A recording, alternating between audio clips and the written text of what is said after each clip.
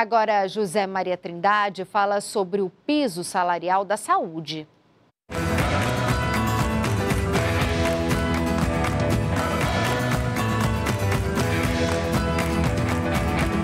Salve!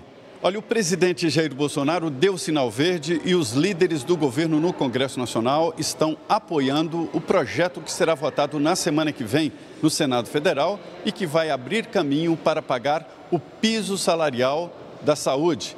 É o salário mínimo para enfermeiros, técnicos, fisioterapeutas, os profissionais de saúde.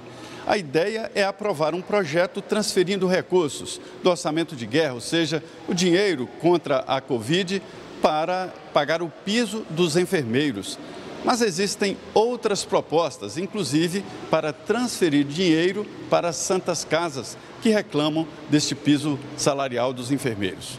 Olha, não é só o prefeito e governador que reclamam deste piso e de gastos extras.